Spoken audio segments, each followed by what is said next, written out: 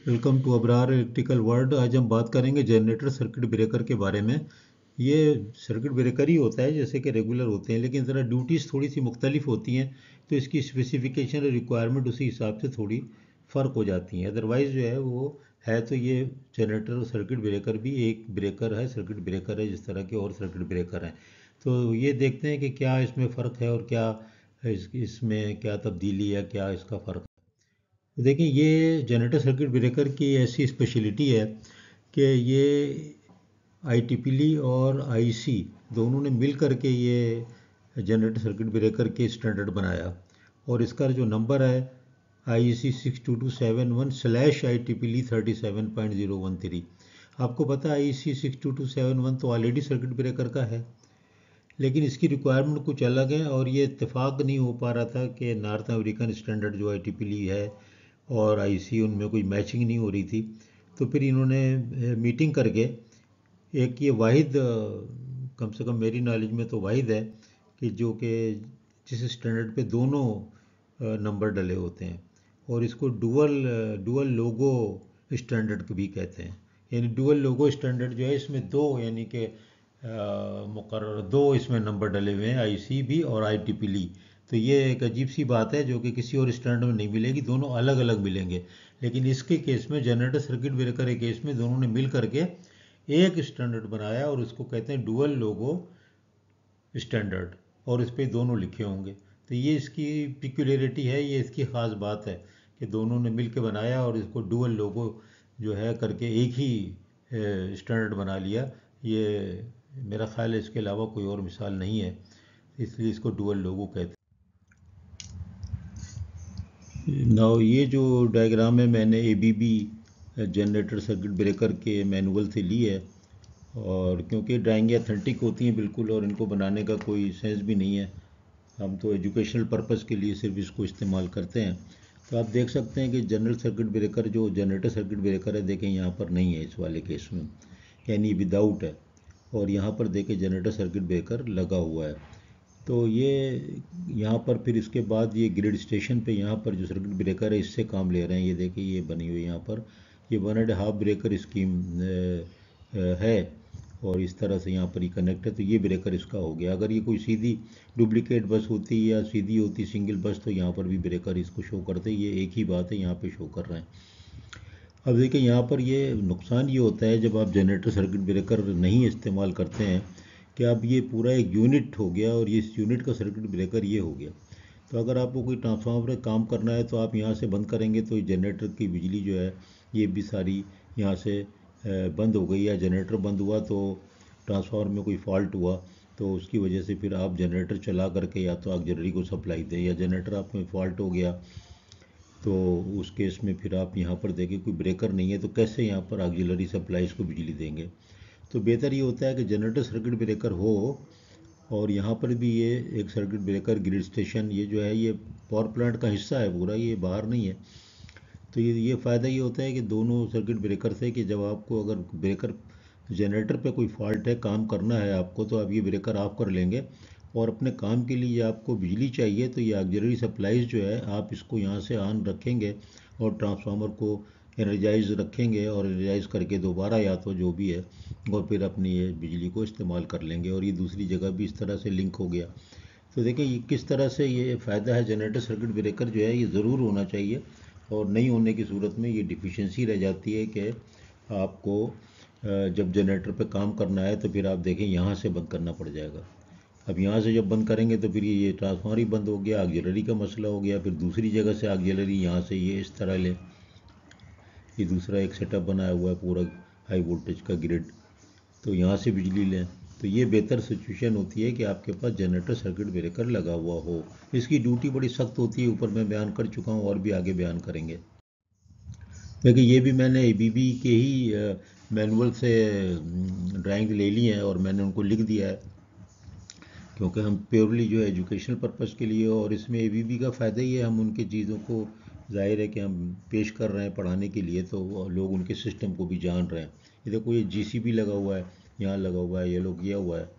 ये देखें, यहाँ पर भी है, ये देखें, दो जब हैं तो दोनों में जीसीपी लगे हुए हैं और ये अलग लगे हुए हैं। तो आपके इतनी फ्लेक्सिबिलिटी हो गई, आप यहाँ से बिजली सप्लाई कर लें इसको, आप कहीं तो ये जनरेटर सर्किट ब्रेकर की मैंने आपको ड्राइंग और उनको कनेक्शन के तरीके बता दिए ए बी वी की मैंने ड्राइंग लेते हुए। कोई भी एक अगर कंपनी होगी और आपकी यूटिलिटी कंपनी होगी तो इसी तरीके से आप जनरेटर सर्किट ब्रेकर को लगाएँगे। अब इसके अंदर जो फॉल्ट होते हैं फॉल्ट देखें, जो मैंने आपको डायग्राम दिखाई, उससे आपको वादे हो गया कि फॉल्ट जो है बिटवीन जनरेटर सर्किट ब्रेकर और जनरेटर के दरमियान आ सकता है। उसको कहेंगे सिस्टम सोर्स फेड फॉल्ट यानी जनरेटर और जीसीबी के दरमियान में जो फॉल्ट आया, उसको क्या कहेंगे? सिस्टम सोर्स फेड फॉल्ट ज़ाहिर है कि जो फॉल्ट जो है वो सिस्टम से फ़ीड हो रहा है उसको। और अगर बिटवीन जीसीबी और ट्रांसफार्मर आएगा उसको कहेंगे जनरेटर सोर्स फेड फॉल्ट ये दो नाम याद रखें। और एक तीसरा जो इसको ड्यूटी हो सकती है वो आउट ऑफ़ फेस फॉल्ट हो सकती है कि उस पर आप उसको क्लोज कर दें ब्रेकर को। तो ये बड़ी इंपॉर्टेंट चीज़ है तो आगे देखते हैं। इसमें मैं सिम, बहुत सिंपल तरीके से आपको बयान करने की कोशिश की है कि इस डुअल लोगो general circuit breaker generator circuit breaker में क्या क्या प्रोविजंस हैं आईसी और आईटीपी लिखे, मिला करके। बहुत शुक्रिया आपका। अब हम आगे चलते हैं, देखें ये जो इसमें मैंने पहला फॉल्ट बताया आपको system sold felt fault source felt contribution of the network via the step of transformer as usually a time constant of 1.133 millisecond अब जब ये फॉल्ट वहाँ आया, जहाँ जनरेटर और जीसीबी के बीच की जगह में आया तो बैरल इसमें जनरेटर तो फ़ीड करेगा ही, लेकिन इसको वो भी तो करेगा सिस्टम फ़ीड भी तो करेगा। अभी सिस्टम भी फ़ीड करेगा तो फिर ये इसमें सिस्टम का जो टाइम कांस्टेंट है वो काफ़ी ज़्यादा होता है, और one three three millisecond अगर है तो इसमें हाई सेमेटिकल फॉल्ट जो है वो और rate of recovery rise of voltage भी अच्छा खासा इसका ज़्यादा होता है। तो इसलिए ये ड्यूटी इसको जो है, ये दोनों वैल्यूज़ की वजह से बहुत स्ट्रेस आता है और इसकी ड्यूटी जो है वो बहुत स्ट्रेसफुल होती है, इसलिए इसको स्पेशल डिज़ाइन करना होता है। ये स्पेशली डिज़ाइन होता है। हर ब्रेकर इसके हिसाब से डिज़ाइन नहीं होता। इसका पूरा जो स्टैंडर्ड पढ़ा जाएगा तो उसमें सारा प्रोविज़न इसका मिलेगा। अब इसकी ड्यूटीज़ क्या है? Main duties of generator circuit breaker are as follows synchronising the generator with the main system ये है। Separate the generator from main system switching off the unloaded lightly loaded generator carry and interrupt load current up to full load current of the generator. Interrupt system source short circuit current. अब ये आगे आ गया requirement for generator circuit breaker requirement impose on circuit breaker greatly differentiate from the requirement impose on general purpose transmission and distribution circuit breaker due to the location of the installation of generator circuit breaker high technical requirements are impose on circuit breaker with respect to the rated current short circuit current fault current due to out of phase condition वही जो पहले मैंने बयान किया, वही सब दोबारा यहाँ लिख दिया है। Degree of asymmetry of fault current and rate of rise of recovery voltage जो पहले बयान किया, उसको यहाँ पर मैंने दोबारा लिख दिया। तो ये आप देखें कि इस तरह से इसके अंदर सारी चीज़ें आ गई। लेकिन ये इसका मतलब ये नहीं कि पूरी तफसील है।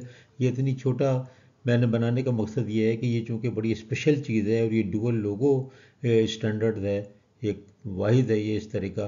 तो अगर आपको जनरल सर्किट ब्रेकर आपसे आपको टेस्ट करना है या आपको ख़रीदना है या आपको डिज़ाइन स्पेसिफिकेशन बनाने हैं तो आपको जाना पड़ेगा six two two seven one dash thirty seven dash zero point one three that zero one three दो हज़ार तेरह यानी कि। तो वहाँ से आप इसको बना सकेंगे। तो इसके अंदर कोई हम डिज़ाइन एस्पेक्ट या उसके ऊपर हम ज़ाहिर नहीं जा रहे हैं। फिर सिलेक्शन ऑफ़ जनरेटर अगर है तो ये जो आईसी है, ये कंबाइन जो बनी हुई है, ये वाला इसमें आईसी के, जो इसके अंदर आईटीपी में रिक्वायरमेंट है, वो इसके अंदर इनकारपोरेट हैं तो ये ये चीज़ें होनी चाहिए। यानी ये एक तरह की गाइडलाइन आपको दे दी गई कि जनरल जनरेटर सर्किट ब्रेकर आपको अगर स्पेसिफिकेशन लिखने हैं तो ये ये ये सारे आइटम आपको उसके अंदर लिखने चाहिए, ये ज़रूरी है। तो ये एक इसका छोटा सा हो गया। आप इसको स्लाइड को देख सकते हैं, रोक रोक के, और जो चाहे तो नोट भी कर सकते हैं।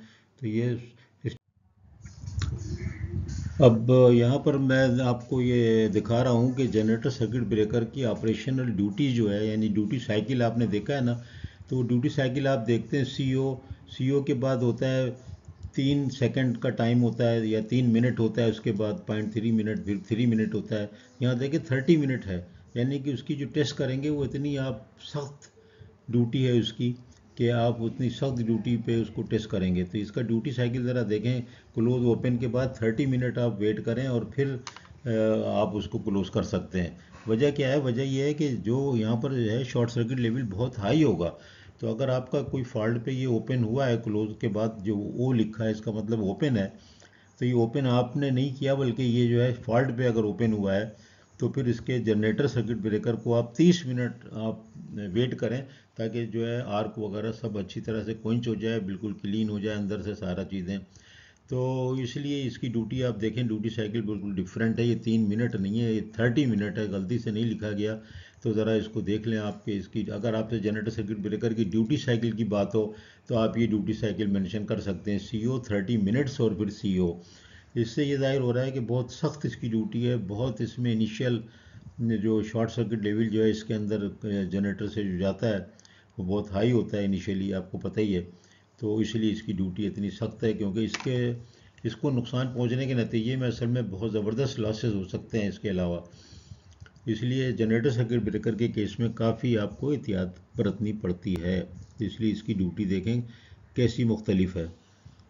थर्टी मिनट का गैप चाहिए ओपन के बाद क्लोज होने के लिए। और वैसे भी प्लांट पे जो लोग होते हैं इंजीनियर होते हैं, वो तो थर्टी मिनट क्या हो, अगर ऐसा कुछ सूरत हाल हो जाए, जनरल सर्किट ब्रेकर ट्रिप हो जाए तो बहुत कुछ चेक करना और टेस्टिंग करना और बहुत सी चीज़ें चेक करना और डेटा कलेक्ट करना, ये सब ज़रूरी हो जाता है। तो ज़रूरी नहीं है कि हो सकता है कि दिन भर भी लग जाए कि आप दोबारा उसको ट्राई करें। क्योंकि जनरेटर के ऊपर कोई चीज़ भी ट्राई करना बहुत ही ख़तरनाक हो सकता है, डैमेज हो सकता है सेफ्टी पॉइंट ऑफ़ व्यू से ख़तरनाक हो सकता है और बहुत से प्रॉब्लम हो सकते हैं पावर प्लांट पे। ये मैंने जनरल सर्किट ब्रेकर एक दिखा दिया, ये भी एबीबी का ही है और मैंने कहा कि पिक्चर आपको दिखाई दी जाए कि कैसे इसका होता है अंदर से बना हुआ। फिर इसी तरह देखें, ये मैंने ये एक और दिखा दिया दो। इसके नीचे सब कुछ लिखा हुआ है, जो कुछ भी है। ये मैंने, ये भी मेरा ख्याल है ए के ही उससे लिया है ड्राइंग से। तो ए बी बी के मैनुअल से लिया है। ये देखें, ये एक और है। अंदर से सारी चीज़ें दी हुई है, सब लिखा हुआ है इसके अंदर। सर्ज रजिस्टर करंट ट्रांसफार्मर ये जो है ना, ये अरेंजमेंट आपका जी आई एस टाइप का अरेंजमेंट है। अब देखें, सारी चीज़ें अंदर हैं इसके अंदर। सी टी पी टी सब। असल में जो जी सी बी होता है ना ये कंप्लीट स्विच गियर होता है। इसके अंदर हर चीज़ होती है। ये वो ऑर्डिनरी ब्रेकर जो सर्किट ब्रेकर 132 के भी पे इस्तेमाल नहीं करते हैं, वो नहीं है। बल्कि समझ लें कि जो आप मीडियम वोल्टेज पे इस्तेमाल करते हैं, ये भी मीडियम वोल्टेज होता है, पंद्रह अठारह के वी जनरेटर का। लेकिन इसकी ड्यूटी जो है, वो बड़ी सख्त है। लेकिन अगर आप गौर करें तो ये स्विच गियर है, ना कि सर्किट ब्रेकर है। इसीलिए कि स्विच गियर और सर्किट ब्रेकर का फ़र्क जो है, वो आपको पता ही है कि सर्किट ब्रेकर अलोन आइसोलेशन में लगा होता है। लेकिन जब स्विच गियर की बात करते हैं तो हम ये समझते हैं विद ऑल दी कंपोनेंट यानी C T P T busbar उसके अंदर सर्ज रजिस्टर भी लगा हुआ होता है, उसके अंदर डिस्कनेक्शन का भी कोई तरीका हो सकता है। इसमें भी देखें सर्ज रजिस्टर इसके अंदर भी होता है, जो आपका जनरेटर सर्किट ब्रेकर है। तो इसको कहते हैं तो जनरेटर सर्किट ब्रेकर है, लेकिन ये कंप्लीट असम्बली जो है, ये असल में इसको स्विच गियर ही आप समझें कि इसमें हर चीज़ होती है एक ही में जो, और वो मीडियम वोल्टेज में आपको वैसे भी मिलती है। तो ये देखें, सारा इस तरह का अरेंजमेंट है। ये एक और डायग्राम मैंने लगा दी है ए बी बी से ही, और उनका काफ़ी लिटरेचर मौजूद होता है ग्रिड सोल्यूशन पे। आप लोग जाके अगर देखें जी पे जी सॉल्यूशंस तो आपको बहुत कुछ उसमें बड़े आसान लफ्ज़ों में डिस्टेंस रिले हो या कोई भी सर्किट डायग्राम्स हो डिफरेंशियल हो, सब चीज़ें बड़ी अच्छी उन्होंने बयान की होती हैं ए बी बी के, जो लिटरेचर है, बहुत उमदा है। इसी तरह सीमेंस का भी है, इसी तरह हर कंपनी का है। लेकिन इनका काफ़ी अच्छा है। जी का भी बहुत अच्छा है। जी सोल्यूशंस पे आप जाएँ और देखें। ए बी बी सोल्यूशन नहीं है। ए बी बी का तो कुछ और नाम है। जी सोल्यूशन है। जी इसी तरह सीमेंस ग्लोबल पे जाएँ। तो आप देखें, आपको सारी चीज़ें मिल जाएँगी और बस ये कि वहाँ बहुत डिटेल होती है तो उसमें से एक्सटेंड करके हम लोग जो होते हैं, पढ़ाने वाले, वो उसमें से चीज़ें लेकर के और फिर अपना उसमें इनपुट डालते हैं कि क्या पढ़ाना है और कैसे पढ़ाना है। तो ये एक देखें, ये भी एक कंप्लीट उसकी डायग्राम है जीसीबी की आपको यहाँ पर क्लियर कट ज़ाहिर हो रही है। तो आप देख सकते हैं, नीचे सारी चीज़ें लिखी हुई हैं, बताने की ज़रूरत नहीं है, आप इसको पढ़ सकते हैं। तकरीबन हर स्विच है इसमें अर्निंग स्विच भी है लाइन आइसोलेटर भी इसमें है, इसमें सर्ज रजिस्टर भी है, और सारी चीज़ें इसमें शो की हुई हैं।